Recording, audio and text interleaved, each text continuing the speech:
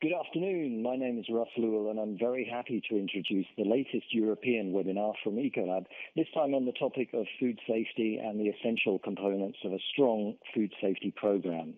You may not be aware that almost half of all foodborne illnesses originate in commercial food service facilities, and proper cleaning and food preparation procedures can help reduce the risks. As always with our webinars, we do like to hear directly from you, and you can take part right now in our live poll question, which you'll see on this slide and on the right side of your screen. We'd like you to answer this question. Which of these is a main barrier to hand washing in your business? Why don't staff wash their hands correctly? Are they too busy? Is it not a priority? Is the hand sink out of sight? Are soap and paper towels not readily available? Uh, do staff complain their skin gets irritated if they wash their hands too frequently? Maybe staff don't see the link between hand hygiene and foodborne illness. Or could it be that staff wear gloves and don't believe they need to wash their hands? You can select more than one answer and we'll summarize your feedback in just a few moments. As we always ask for suggestions for webinar topics that would be interesting and important for you, one popular request was the importance of a strong food safety program. So we're delighted to bring you that topic today. And don't forget, if you do have ideas for subjects you'd like us to cover in future webinars, please let us know. We'd also love to get your feedback to today's webinar. At the end of today's session, there'll be a pop-up window with a short survey, and we'd certainly appreciate if you could take just a few minutes to give us your feedback. Also, you'll receive a recording of today's webinar via email this week, so look out for that in your inbox. So the poll question you've been answering was on the topic of hand hygiene, but there's so much more to a strong food safety program than hand washing. So let's take a look at today's uh, agenda. Today's agenda is the importance of food safety. We'll talk through the components of a strong food safety program. Uh, we'll certainly answer your questions and answers, and I would like to remind you that we'll be happy to do so. Uh, you can register your questions using the Q&A button that you can see on your screen.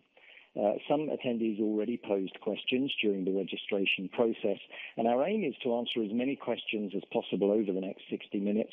But if there are questions we don't get to answer today, we will follow up with you via your local Ecolab representative. And then finally, we'll wrap up with some closing comments. So now it's time to meet our expert speaker for today's event. Dr. Ruth Petran is Ecolab's Vice President of Food Safety and Public Health and she provides technical expertise and consultation to internal and external customers on food safety and public health issues. As well as being a member of the International Association for Food Protection and a professional member of the Institute of Food Technologists, Ruth is also recognized as a certified food scientist. So as you can see, Dr. Ruth Petran is well placed to give you exactly the information you need for your food safety program. So we'll say good afternoon, Ruth.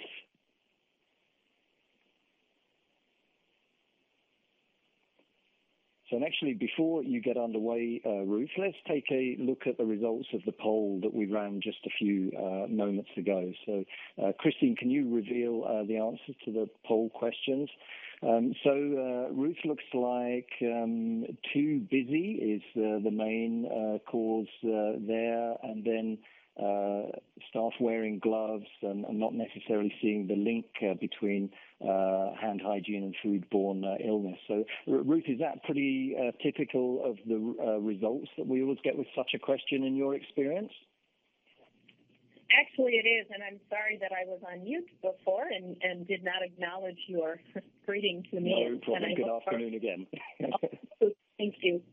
But yes, I agree that that um, the selections that were noted here in the poll are what we see, and um, especially on the not seeing the link between hand hygiene and foodborne illness is something that I have seen repeatedly. So um, I think this leads us in well to the topic at hand. Next slide, please. So I want to address the importance of food safety to start off, go through some facts and figures to help make this link perhaps a little more strongly between things like hand hygiene and other behaviors and the incidence of foodborne illness. Next slide, please. These data are summarized each year by the European Food Safety Authority. They do lag a year or so behind, unfortunately, but it's what we have. And they do reveal some interesting things. Um, first of all, the fact that we have seen a dramatic decline in reported outbreaks of salmonella, which is the top line on the graph, is certainly good news. Um, however, the other organisms and, and uh, agents of illness that we see here, those related to viruses and toxins, um, generally have been flat over time, indicating that there's opportunities here to focus in on these agents that do cause a fair number of foodborne illnesses. Next slide, please. But we also need to think about the kinds of foods that are involved in outbreaks. And these data, again, are also from the European Food Safety Authority from their most recent report, uh, indicating that water is, is still a concerning kind of uh, vehicle for illness. And obviously, we, we use water in food preparation. But I think it's also important to think about other kinds of foods. Um, mixed meals, things with multi ingredients, but then getting down into the specifics related to different kinds of meat products, dairy products, and eggs as well. These can help us identify where we need to make sure that food safety practices related to handling of these foods are absolutely sound. Next slide, please. But what are the risks? We have some data related to those factors that contribute to foodborne illness. Now, these are not um, necessarily causal factors because it's difficult with our current extent of foodborne illness surveillance programs, honestly, to get to a root cause absolutely all the time. But as disease investigators, et cetera, have, have gone in to look at illnesses and, and really dig into what's going on, they've identified several different areas of factors that likely contributed to those illnesses certainly things related to the source of the food um, and what happened before that food came into the restaurant or food service entity. Then things related to temperature, related to cooking, but also holding of these food products. We see issues with cross contamination and also things related to poor personal hygiene. So back to our poll question related to hand washing, that would certainly fall into that bucket as well. So we do see that hand washing or lack thereof can contribute to illness. And I think it's data like these that can help frame this up even more helpfully. Next slide, please. We know that food safety issues can pose significant brand risks as well. Looking at many, many outbreaks, we have seen that food service companies can tend to see as much as double digit sales declines following a food safety incident. And in some cases, it takes years to recover from that incident, and unfortunately, some do not recover at all. It's estimated by the National Restaurant Association that in U.S. dollars, um, it may cost $75,000 per establishment for each incidence of a foodborne illness that gets publicized significantly. And this includes, obviously, health costs but also legal fees uh, and uh, wages, et cetera. So in general, we see that food safety can certainly drive down sales, keep customers away, and certainly damage the reputation of an establishment. Next slide, please. Also among consumers, we see increasing concern on their part related to food safety the data play this out. It's estimated by the World Health Organization that one in 10 people get sick each year around the world from consuming contaminated food or beverages. And unfortunately, as many as 400,000 or more of them die because of foodborne illness each year. So these contribute to figures such as the others on the slide, where half of uh, consumers generally think that food service establishments may not be doing enough to provide consumers with safe food. And more than half are concerned when they eat out. And in general, their concerns about food safety have increased. In addition, we know that consumers' demographics are changing. The reality is we are aging, and with that inevitability, our sensitivity to things like foodborne illness increases. And I think most telling of all, 90% of the people who were surveyed said that they do take note of food safety incidents at restaurants when making their dining choices. So clearly, it has an impact on what their thoughts are. Next slide, please. So certainly, with all of these headwinds out there, it's absolutely key that food safety programs be formalized. Certainly to create a better experience for your guests, but also to create a stronger protection for your business. This will result in better guest satisfaction, I believe in engagement of your staff, and certainly reduction of risk and overall brand protection. Next slide, please.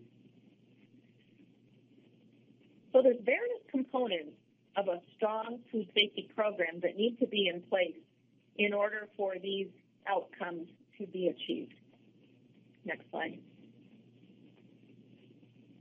And we'll go through these in some detail, but generally it gets down to having a clean environment, safe food, ensuring compliance, and by that, ensuring that you have visibility to what's going on. And then certainly training and awareness of food safety is very key as well. Next slide. So firstly, thinking about clean environment. And this relates to many things within a restaurant, including hand hygiene. And we talked about that in the polling question. And the, the gist of it is make sure that it's a priority, that it's convenient and top of mind. And I'll direct your attention to the gray box on this slide, which highlights results of a study that was conducted a while back that actually went in and surveyed restaurant workers to look at potential barriers to their hand washing. And as you can see, the several things listed as identified barriers to hand washing actually uh, indicate that all of the answers to our polling question could be seen as one of those. So regardless of what answer you you chose, you are in line with what the research showed. I believe that focusing on these barriers is the way to turn these behaviors around to make hand washing less of a barrier. But in addition to hands, we need to think about surfaces in a restaurant using properly registered and approved sanitizers or disinfectants for food contact surfaces, and then cleaning between tasks, cleaning equipment, cutting boards, knives, etc., to avoid cross-contamination from one kind of food, like a raw meat, to a different kind of food. Next slide, please. But we need to think about those non-food contact surfaces as well, as they can be a source of potentially harmful agents. Things like surfaces in a restroom, also high-touch surfaces and items like door handles and rails, even menus, dining tables, also making sure that dishwashing is done properly at the right temperatures with the right detergents and any sanitizers that might be used in those operations. And then thinking about things like floors and drains, ice machines, and other surfaces that are inevitable in a food service environment. We've done some research indicating that pathogens such as Listeria, Salmonella, and Staphylococcus, frankly, are everywhere within food service. We found that half of kitchen floors were contaminated with these agents, a large number of mops and buckets, and an even larger percent of floors and drains were contaminated. And these were based on a survey of over 100 food service locations. Next slide, please. So in addition to clean environments, we need to think about the food itself that we are bringing into that environment. And, and as you recall, there were a um, about 10 to 15 percent of the time where unsafe source contributed to outbreaks of illness. So key here is knowing your vendors and perhaps enlisting the services of a knowledgeable food safety expert who can help you evaluate them for their use of things like good agricultural practices, good hygiene practices, etc. This also includes basic things like making sure the delivery trucks who bring food into an establishment are sanitary, have proper refrigeration, etc. Making sure that all food is not expired and properly dated so that you know when to discard it. And then making sure that um, the delivery itself is examined carefully, looked for sanitary conditions, and never be afraid to refuse a truck if it looks suspicious.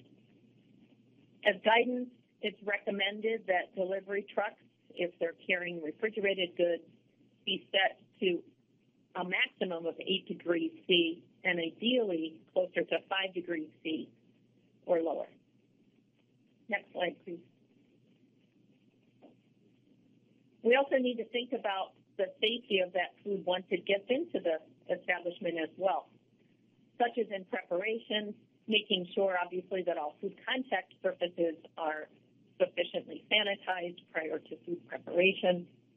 If equipment is being continually used, that it's resanitized on average about every four hours or periodically as per local regulations.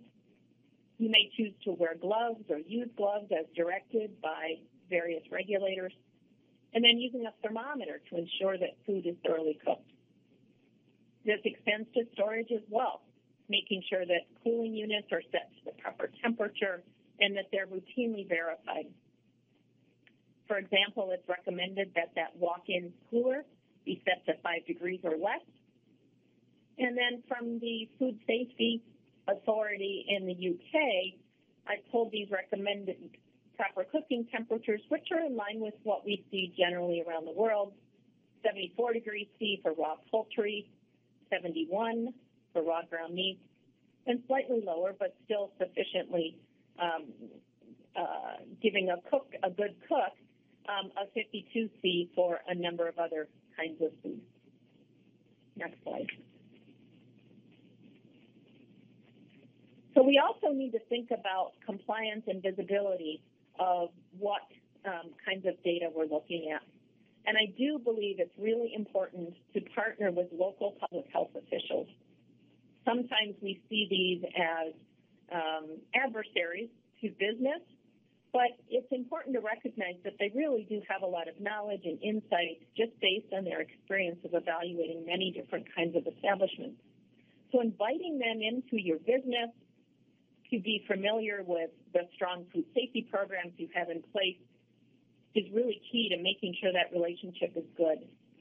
And if there are complaints received or if you have reason to believe that an outbreak is going on, eliciting the services of these people is really helpful for a couple of reasons. One, to get their advice and assistance, but also to consider from a public health standpoint, obviously something may be going on, and it is important to alert the consumers in the area that something is going on to prevent other folks from getting ill.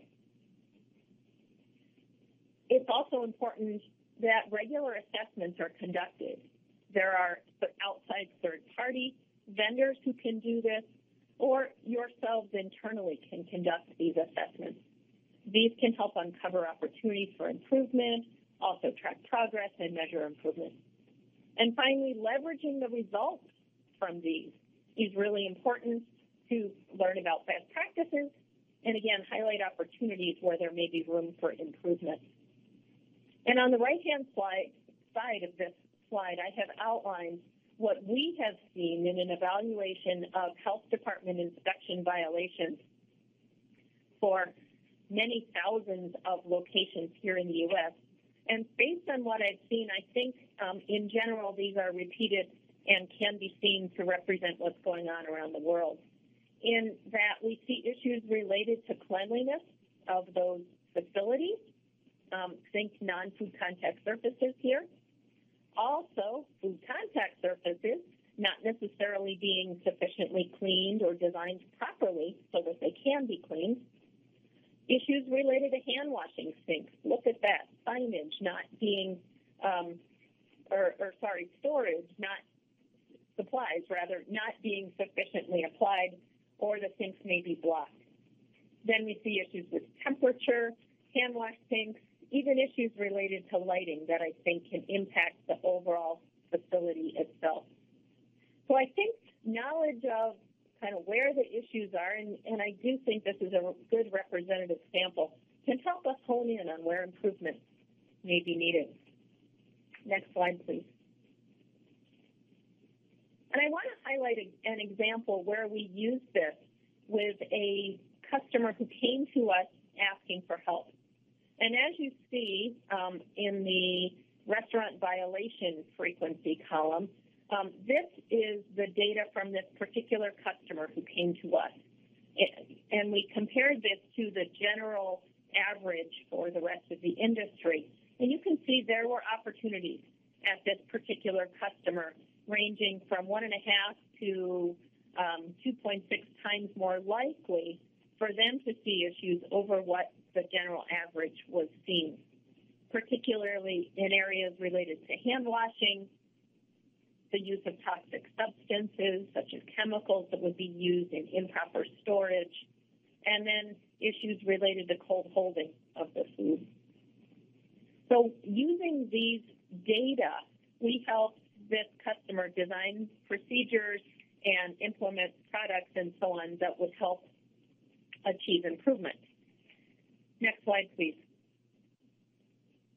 For example, on the product side, we made sure that they were using properly registered products from the Environmental Protection Agency, which is the organization here in the state, which takes, which oversees uh, sanitizers used in food service applications. We also made sure that they had better consistent control of temperature and time, that they were using the right hand hygiene products. We recommended color coding for products and labels and dispensers of various dishwashing detergents and things like that. We also provided them chemical safety information and helped them get on regular servicing of their equipment. Next slide, please. But in addition to providing tools and products to them, the procedures are really important because proper implementation and use of these key tools is, is very important. So things like making sure procedures and guidelines were set in place, making sure these were properly posted but also available to the employees in languages that were appropriate to the workforce, and then we optimize storage of uh, items in their restaurant. Next slide. In addition, service and training was important. This included some initial education and training to just level set everyone, but also keeping track of what was being done over time, such as with cleaning and sanitization, on the use of new products for new employees, we brought in video resources and then performs regular service visits and third-party assessments to continually monitor their progress and look for improvements. Next slide, please. The good news is that although results are still coming in, we're seeing very positive outcomes with enhanced food safety, less issues with employee safety, and enhanced guest satisfaction, which I think is, is most key here, just from these basic steps. By evaluating violations for what was going on and regularly um, looking for improvements, ongoing support and training, which was provided, implementing preventive maintenance and fast fixes where needed, also point of use materials, again, the signage and so on, um, other types of mechanisms to keep food safety top of mind.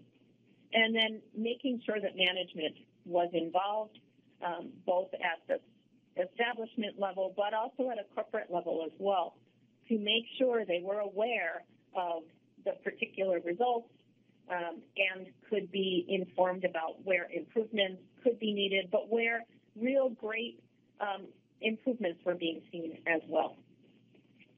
Next slide.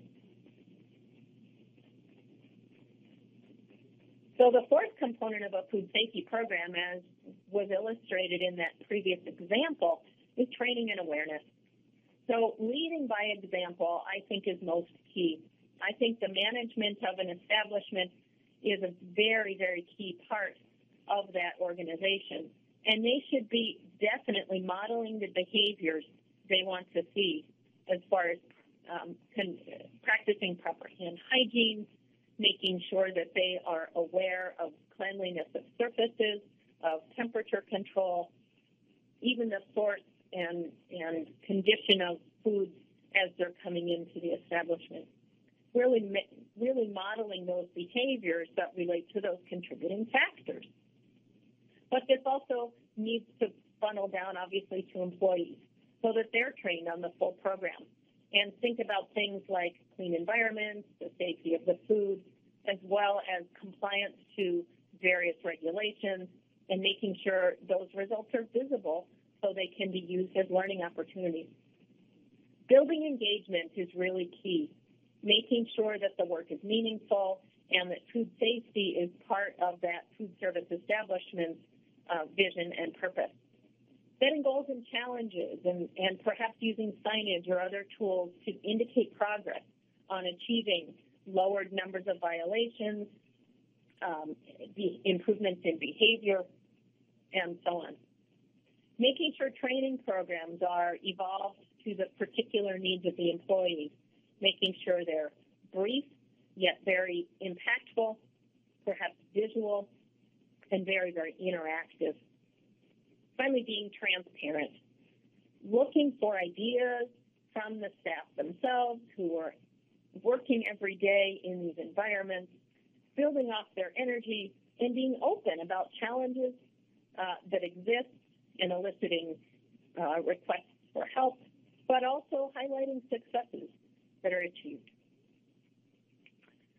At this point, Russ, um, I will turn it back to you and, and do we have questions that have come in?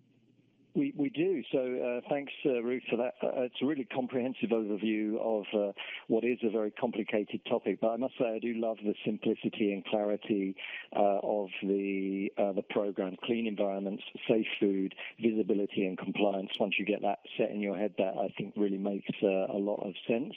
Um, so thank you to you all for your questions as well. We've had quite a few. Um, number one frequently asked question is, can we get the presentation afterwards?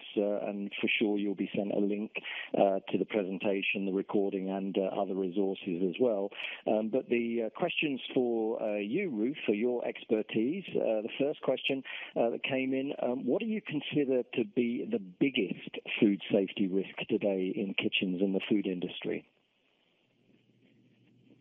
This is always interesting, and I and I think we need to look at, at kind of the way the world is today and the fact that we all have access to much more global kinds of information.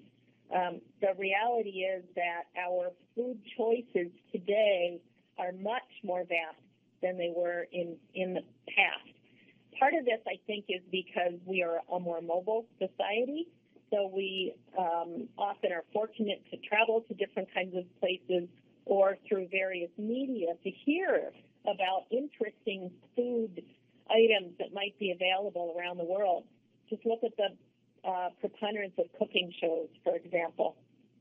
Some of these products are very complex, very interesting, um, and it requires us potentially to be sourcing items and flavors and spices and ingredients, et cetera, from longer distances I realize there is a focus in some markets on local sourcing, but often to supplement those locally sourced, meats and, and produce items, um, we need to bring in, again, some of these interesting ingredients from far away. I think that adds complexity for sure, um, adds a lot of fun to dining out. But we need to be aware of what risks those may provide. They may be novel ingredients, novel food sources that we haven't worked with in the past and, and may have very little knowledge of. They, we may not know a lot about how they were handled before they crossed the globe to get to the back door of a food service establishment. So being aware and being knowledgeable about the production practices, which could include farming um, or rearing of an animal, um, uh, as well as handling, transportation, et cetera, that might go on. And although that certainly uh, needs to be in place for those far-reachingly sourced ingredients, it also needs to be in place for those that we might source from the farmer next door, uh, and making sure that those foods are handled and um, handled properly and, and not subject to any sort of contamination. I think another food safety risk today is is the inevitability of human behaviors. And as we saw in the polling questions and also in the research that I presented, um, we are busier people today. In many cases, restaurants are busier. Um, we are seeing relatively high turnover among food safety, or excuse me, food service employees. Um, so constantly keeping on top of all of these kinds of things um, is challenging. And um, certainly in a perfect world, everybody needs to do everything properly all the time. We know that's not going to happen. So keying in on those behaviors that are most key to food safety, I think can help avert some of these risks, uh, which gets back to the inevitability of, of humans trying to do the right thing, but occasionally making mistakes. Yeah, and I, think uh, that's a, a, great answer to a really good question. The first step is awareness, so congratulations everybody on taking this first step in uh, g- uh, gathering uh, additional awareness. Actually, a related uh, question to that, because you mentioned about the uh, high employee turnover in food service locations that can be a factor there. W- this question came in, what advice could you give to assure that food safety training is undertaken even when that turnover is very high? I think this is the key to make that training as interactive as possible and as available as possible. I recall being in an establishment recently um, where they had mounted um, uh, electronic screens in many places throughout the restaurant. They use these for everything from the time clock, where people indicated that they, you know, came into work or, or were leaving work, but it also prompted them to um, take quick one, two minute, three minute, um, fun kinds of training that when they were um, had a little bit of a break or perhaps as they signed in uh, on coming into the restaurant, they were prompted to go uh, get a little interactive video or a message related to one of these behaviors. Um, the days of, frankly, sitting in front of a PowerPoint uh, presentation really need to um, be reconsidered. There certainly are opportunities for doing that, but the reality of a fast-paced restaurant environment today with turnover, we need to get more creative with some of these kinds of messaging. There's also been some research demonstrating that the more um, kind of graphic we can get in these messages, the more they are remembered. And there's an interesting series of um, training research that has been done when um, actual pictures are shown to uh, restaurant employees related to the outcomes, and, and in some cases it's, it's rather graphic. That is showing someone getting sick or someone um, obviously ill and perhaps home in their bed um, because they are not able to work. And those kinds of, of images they found in the research were remembered by these employees and impacted them with improvements in things like hand hygiene, um, not working when they were ill, and so on. So I think it's it's making sure these trainings are available, that they're fun, and that they really will grab someone's attention so that they're remembered. Okay, great, good, uh, good advice, uh, Ruth. Um, I've, I've, certainly come across this uh, kind of attitude uh, before. Um, this question says, in our restaurant, we've never knowingly had an instance of foodborne illness. So how do we avoid the mentality in our food service team where they feel, oh, we don't need to worry because we've been doing this stuff for years? Yeah, I, I certainly can appreciate that um, that feeling, and and if we think about it, it's it's you know it's it's kind of how some of us live our lives as well. You know, I've I've never had a major car accident, for example. Um, you know, I, I take precautions, but again, it's really never happened to me. Um, yet, I think here we need to look to the to the broader data set and such as some of the facts that we presented earlier here.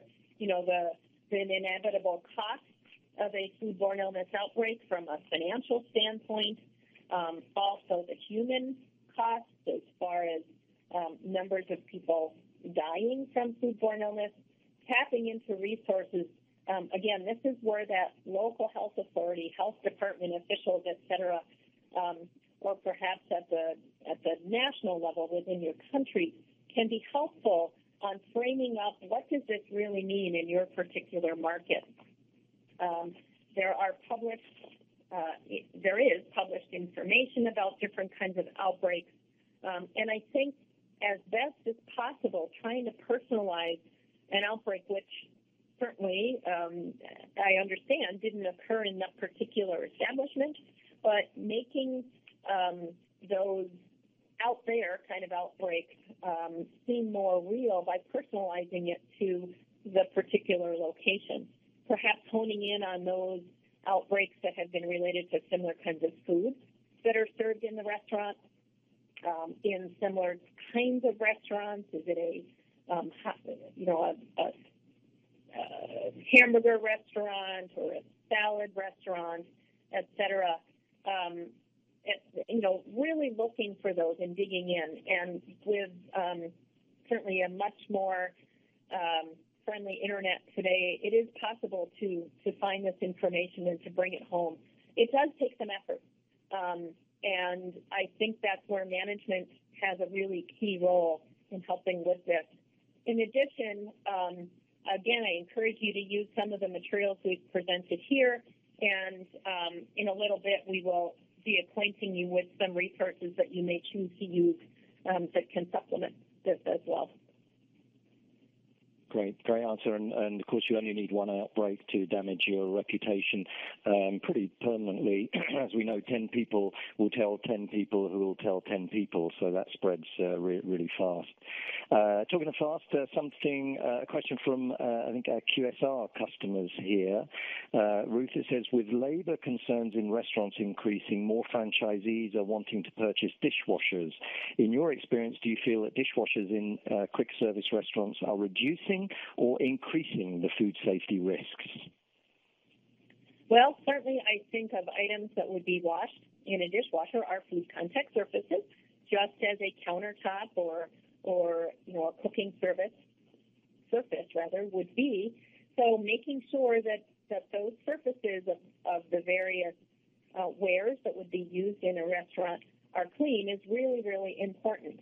Um, I do think the use of dishwashers can result in more consistent application of the standard washing and then sanitizing or disinfecting practices to make sure that those, again, very important food contact surfaces are cleaned and made sanitary as they are supposed to be.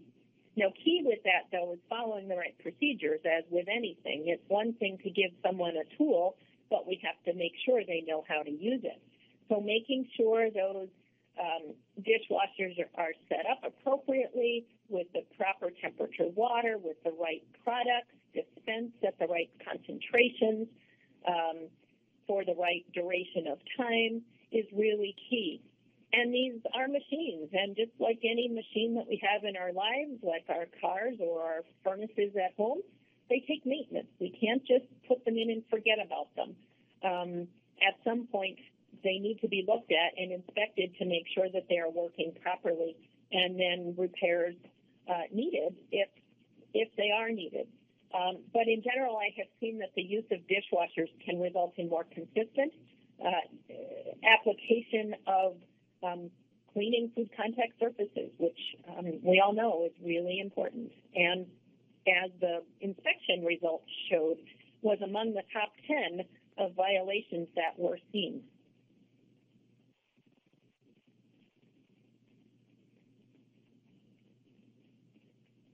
Great information, thank you. So I think the information about the seven uh, uh, potential barriers to hand washing has really spiked uh, interest because we've got kind of three questions I'm going to bundle together as the same. So question just came in to say how can we ensure that personnel uh, are looking better at their hand washing, um, and then um, thinking about uh, use of gloves as well. So, uh, what's the best way to monitor if staff are changing their gloves as often as they should, uh, and how to make sure the management are taking responsibility to enforce the correct use of gloves and hi- hand hygiene practices? So, it's all around kind of gloves and the hand hygiene piece there, Ruth.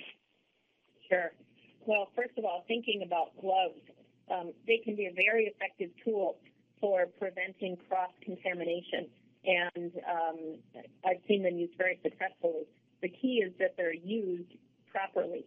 Um, think of we need to educate and make sure people are aware that gloves are used for protecting other people from what you as an employee or food handler may potentially transmit.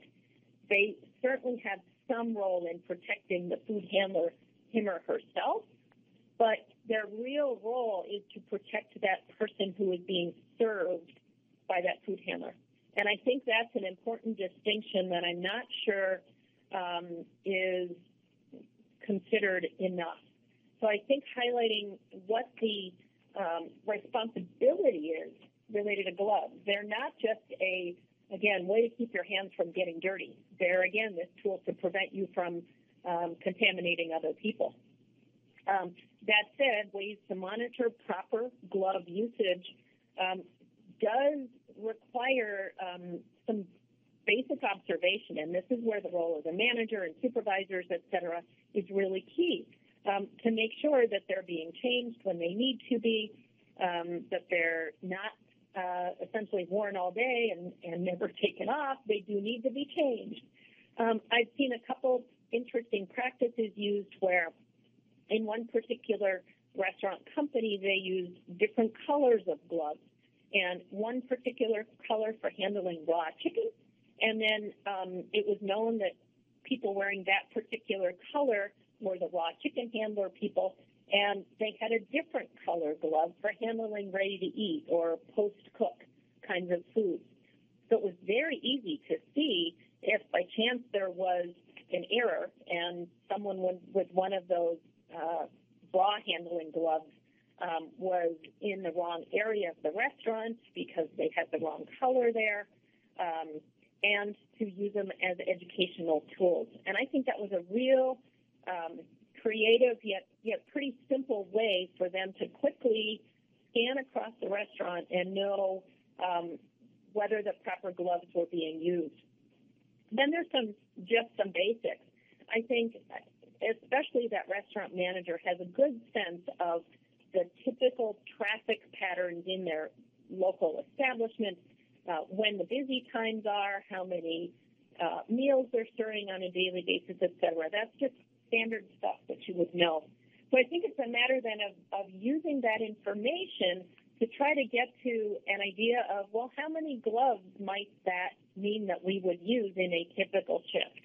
Um, and then one way to do it is just to monitor glove usage. You know, you have a box of, of maybe 100 gloves. Um, is that glove, uh, are those gloves going down in the box?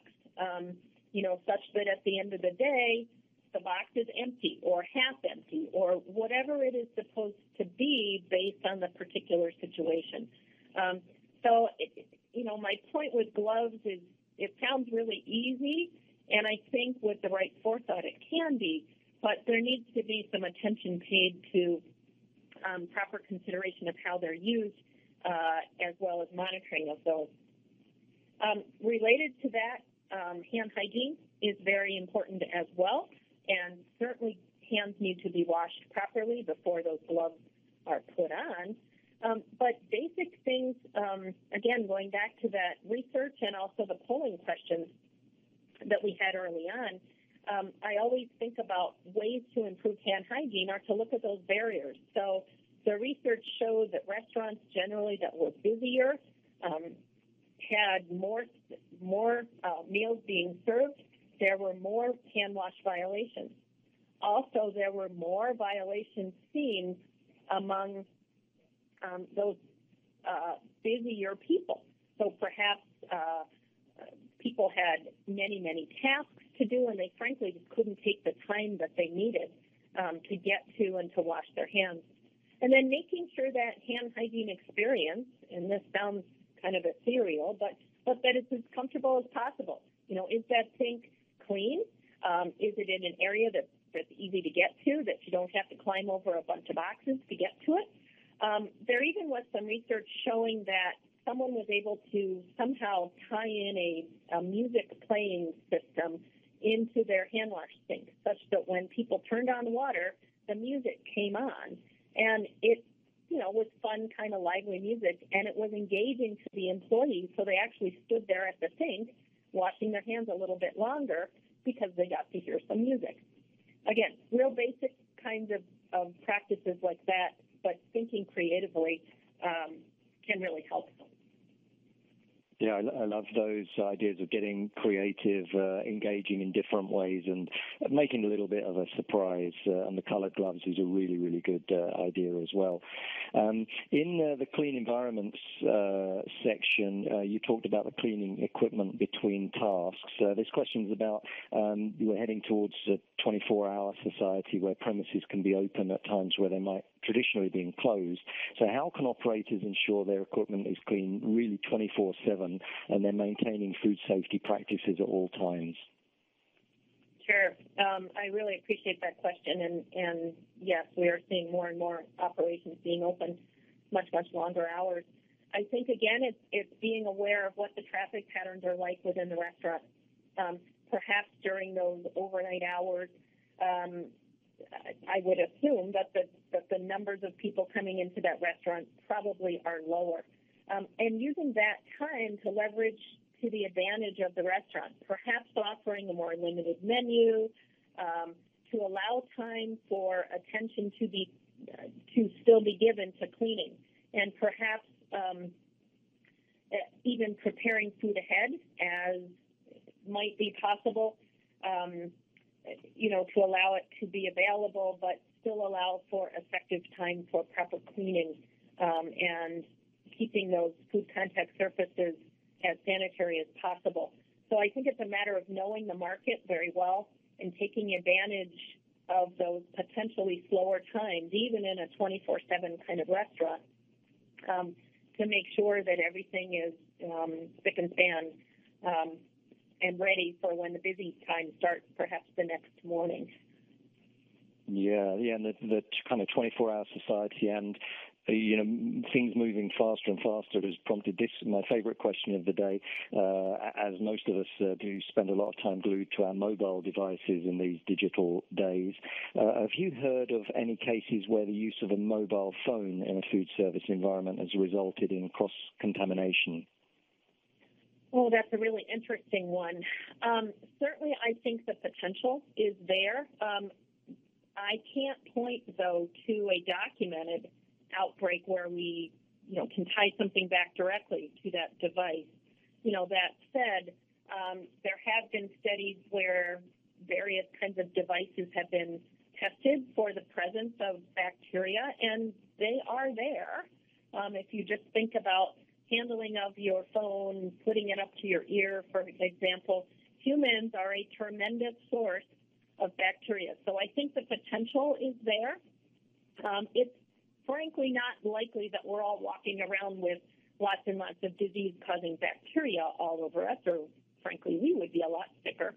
Um, but I think um, it's important to have a policy related to mobile devices. And if nothing else, certainly it, it distracts from servicing your guests to the level that you would probably want them um, to be.